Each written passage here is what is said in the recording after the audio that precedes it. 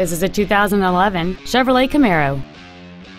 It features a 3.6-liter six-cylinder engine and an automatic transmission.